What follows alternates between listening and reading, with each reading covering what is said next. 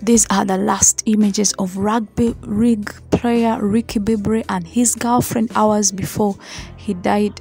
Uh, these are the last images of rugby league player Ricky Bibey and his girlfriend hours before he died in a sex game gone wrong, walking towards their hotel at 4 a.m. with a mystery couple.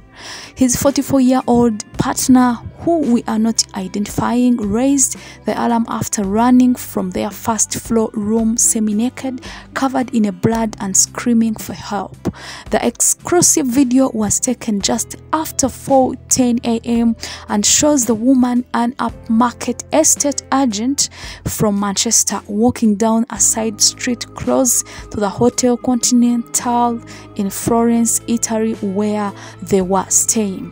Wearing a sleeveless long dress and sandals, the woman appears first in the footage, followed a second later by Mr. Ricky and a mystery couple who have not been identified.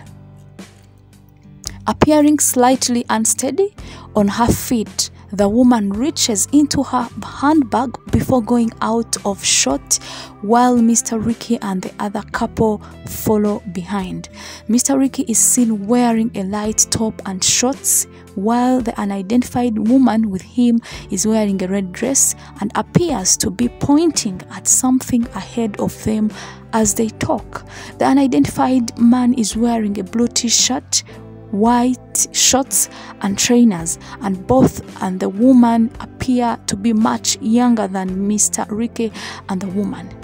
Less than three hours after the footage was taken, paramedics are at the scene after being called by the woman, but the former sports star was declared dead at the scene.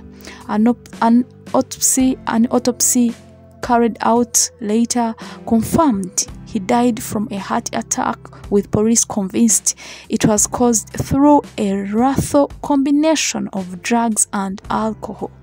The couple had only checked into the Foster Hotel Continental in the day before after landing at Pisa at Pisa Hotel at Pisa Airport and then heading out of the night. Thank you so much for watching.